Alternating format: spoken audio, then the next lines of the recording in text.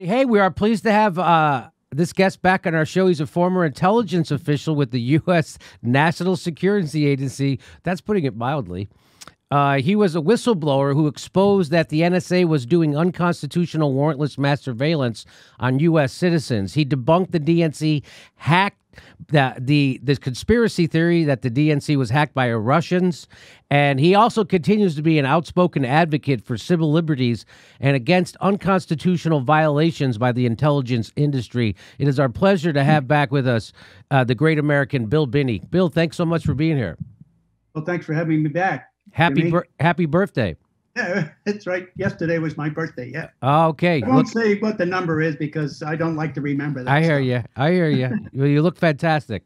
So, this is just this is from the ACLU. A federal appeals court just ruled that the NSA's bulk collection of America's phone records was illegal. this ruling, which confirms what we have always known, is a victory for our privacy rights. So, um, a three that was a three judge panel on the Ninth Circuit Court of Appeals ruled that the program, which was revealed by whistleblower Edward Snowden, violated U.S. surveillance laws and potentially the Fourth Amendment of the Constitution. The metadata collection program was created and approved by the Secretive Foreign Intelligence Surveillance Court, that's the FISA court, after the passage of the Patriot Act in the wake of the 9 11 terrorist attacks. Snowden, who was cited repeatedly in the court's decision, revealed the surveillance program's existence just months after their trial in 2013. Under the program, the NSA collects and analyzes bulk data provided by telecommunication companies. And Edward Snowden commented on this. He said, Seven years ago, as the news declared, I was being charged as a criminal for speaking the truth. I never imagined that I would live to see our courts condemning the NSA's activities as unlawful in the say and in the same ruling crediting me for exposing them. And yet, that day has arrived. Hmm. The ruling of the court demolishes the long held defenses of mass surveillance. After taking into account the best of the government's evidence, the court found the program unlawful and ineffective, establishing the government's public claims of necessity were deceitful. And this is from the Freedom of the Press says the judge repeatedly cites the Snowden disclosures showing once again the power of whistleblower driven by conscience and a press dedicated to the truth. All right, so let's bring Bill Binney back. Famous NSA whistleblower himself was framed by the FBI and he outsmarted them, so he didn't end up in prison. He's here with us and he's famous for debunking the uh, Russia hacked the DNC server, which CrowdStrike re- recently re- uh, admitted in court they have zero evidence that that happened. So you were proven right once again, Bill. So congratulations on that. So can you just comment on what this uh, uh, federal appeals court just said? Actually, this is the second appeals court to declare those collections uh, illegal. The first was the Second Circuit in early 2012.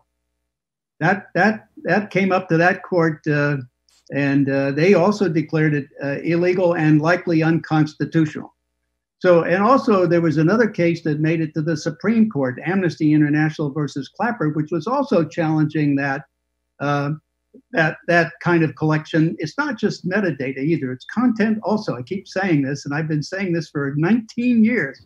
They collect everything. Okay, not, not nothing is missed. And I know the collection points and all the all the locations of where they are across the country, internally in the U.S all around the world too. So I know all of that. And I did it finding it by using Google. Okay. But but the point is that they've been doing this all along and they've been trying to keep it out of court. And what they did in the case of the Amnesty International versus Clapper, they made it to the Supreme Court. The Solicitor General lied to the Supreme Court to get it thrown out. That that happened. That's published in the in. Uh, if you look up the Amnesty International versus Clapper, that case, you'll see all the lies that were given by the Solicitor General to get that thrown out. But that was also doing this challenge. Now we have one in front of them that's going to be reviewed on the 29th of September as to whether or not the the uh, the uh, Supreme Court will hear that case, uh, uh and they'll. It's again challenging the constitutionality of them doing this. I mean, it's it's basically straightforward, unconstitutional for them to collect all the con- all the communications, phone calls, emails, chatter, web web surfing, all of that, and financial transactions and travel for every U.S. citizen in the in the country. That's just fundamentally illegal. They're also mapping Oh. where you are every minute of every day, so they're tracking everybody. So, why did we need a court to tell us this? uh, because un- when Congress passes a law, let it, even though it's a stupid law, it, unless it's constitutionally challenged in court, it can stand as a law. So, in other words, when they gave retroactive immunity to the telecommunications companies back in 2008 for violating the constitutional rights of everyone, Yeah. that's standing because no one's been able to challenge it in court uh, in the in federal court as unconstitutional. Once that happens and it's declared unconstitutional, it fail it stopped. It's no longer a law. So in, in other words, if they can keep the arguments out of court, then they can keep all the all these bad laws they passed to uh, basically participate as as co-conspirators in violating our constitutional rights. When they wrote these laws, they they knew they were unconstitutional because I know they were unconstitutional. I mean, it's it's it's it's like you don't need to be again, you don't need to be a judge or even a lawyer to figure that out, No. right? No, And it's yet pretty straightforward. And yet, nobody in this country seems to give a shit about this, right? Isn't that weird? It is it be is it because the media doesn't care? Yeah, I, I, I don't understand this myself, Jimmy. I mean, it's just un, un, un, un-American. I mean, I, I don't know of in the past any Americans that would stand up for it. I know that, you know, some of the people who were interviewed for the, the records for like military service, people who were fought in World War II, were saying things like, "What did we fight for?" Because you know, you know, we were fighting for the, the freedom and the and human rights uh, in our Constitution, and that's been thrown away. Uh, under the guise of keeping us safe, which is exactly what dictators say. Yeah, that's right. That's exactly what. I- to- go ahead. I was going to say that's exactly what the Nazis issued in Special Order 48 right after the Reichstag fire. It said exactly that. If you go back and look at that, it's on the web. You can go read it and then go read NDAA, National Defense Authorization Act, Section 1021, says exactly the same thing. You know? So what? What's what section? Correct me if I'm wrong. What section 1021 of the NDAA Act says is that the government can uh, arrest you and can and then uh, put you in jail without a charge indefinitely if they could if they if they charge that you're a terrorist, right? And, yeah, without any due process. That's right. Without any due process. Right. So right now, so what that means is, and I try to explain this to people, that means that Barack Obama and the Democrats and the Republicans both agree that we should get rid of habeas corpus. Because Yeah. that's what they did. Right. They they got rid of the writ of habeas corpus, and I try to remind people habeas corpus is in the Magna Carta. So Yes, we got rid of that. They repealed the Magna Carta, and now we are operating on a Liberty View from somewhere around the 1100s. Yep. Is that could you confirm that? Absolutely. It also throws away, scraps our, our Fourth, Fifth, and Sixth Amendments.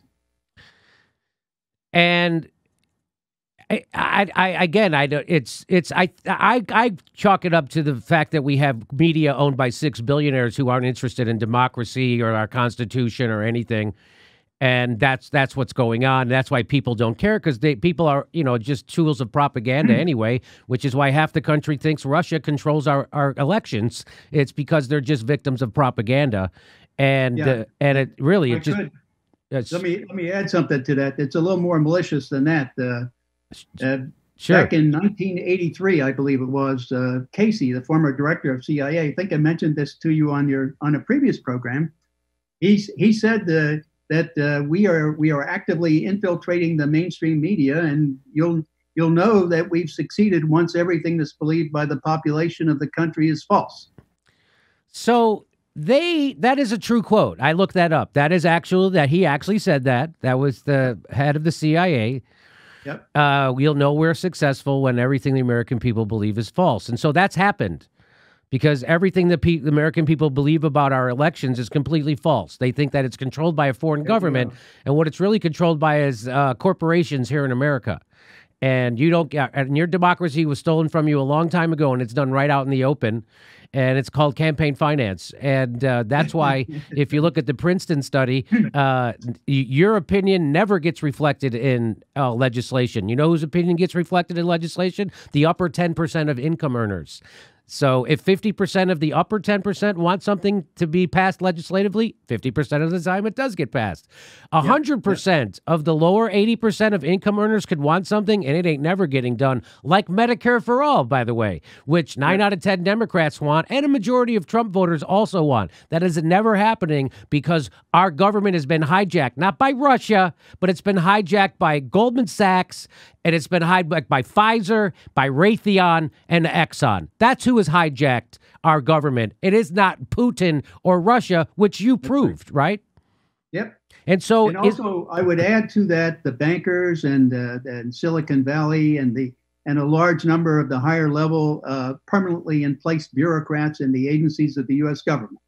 Okay. They're all a part of this, you know. so you know when you talk about William Casey saying that the that quote about how when we'll know we're successful and the American people believe nothing but falsehoods. You know, they used to have to hide and and they used to have to infiltrate newsrooms. Now, I don't know if you notice what's going on, but they just out in the open hire CIA people as their staff members, and now those are the people who populate the green rooms at MSNBC and CNN. Have you noticed that? Absolutely. Yep. and and so they don't even pretend to hide that the C- they don't debunk the CIA. They go to the CIA to say, "Come on our show and spread propaganda," which they don't debunk. They treat the CIA guy's word as truth. That's right. Yeah. Okay. And they and they lie through their teeth and they get away with it without any accountability. so let me just get to your Supreme Court case. now that's coming up. Uh, when when does that start? Uh, they, they do a review of these cases, uh, uh, know, and the review starts on the 29th of September. I don't know how many cases they have, but they have to review which ones they're going to hear next year. And if it passes the hearing and saying, uh, the government, by the way, did not contest anything we said in our uh, petition to the court. So they, I mean, I, I figure they didn't contest it because I would have openly called them on it, you know, and basically forced them to discuss it out in the open and they didn't want to do that. So, so I think they're depending on the Supreme Court to, to protect them. So when you say to protect them, you mean they probably won't hear the case? Uh, if they don't hear the case, you know, you can be assured that they're protecting them, Yes. and they're a part of it too. And what do you think? What happens if they do take the case? Uh, we're going to be in there because I've included a lot of the material from Snowden showed the diagrams of the programs that I organized for them, and they, they haven't changed a damn thing with them. They're still the same programs. You know, they didn't even change the names on some of them. So the So- pro, so you're talking about the surveillance programs that you developed, which are unconstitutional. Right. I had built in the the three things that made them constitutional. One was a filter right up front where you only pulled in bad guys and those that fell in a zone of suspicion based on deductive, inductive, abductive logic, which would have been like one point zero zero zero zero zero one percent of the data would be all you'd take in. And the rest of it would simply go by. That would give everybody in the planet, you know, uh, uh, privacy, including U.S. citizens and everybody around the world and and then I encrypted anybody that came in that we pulled in that we didn't know was a terrorist or a crim- criminal of some sort. I encrypted all their attributes, so even the analysts inside NSA couldn't tell who it was, and certainly FBI or DEA couldn't go into the NSA database like they do now and interrogate anybody they want to. They couldn't because they wouldn't know who they're looking at, right? So. And then the final one was an audit routine that audited everybody that came into the network to see where they went, what they did while they were there, you know who they looked up all of that so they nobody could have hidden anything they were doing and they they didn't like any of that hayden uh, and Tenet and bush and cheney took those things out and just took in them and removed the filters so that allowed them to pull in everything So the mass surveillance that's unconstitutional, that the court just ruled was unconstitutional, you are the person who actually invented those systems, but you had built into it safeguards to protect Americans' identities, which would then make it constitutional. But then they got rid of those protections, so now it's unconstitutional. You blew the whistle on that, and they tried to put you in jail. That's right Okay. and they fabricated evidence to try to do that that's why i called it the department of just us Y- yeah. we the people are not included in that Yeah, so you're you're a good American and you're helping catch the bad guys, the terrorists. You invent these amazing systems. They then turn it into something unconstitutional. You tell people hmm. about it and they try to make you the criminal, which is exactly what the government always does. Hey, everybody, this is the part where I tell you where all our live shows are, but there aren't any. And then this is why I tell you to join our premium program and get extra content, but nobody's got a fucking job. So just enjoy the video.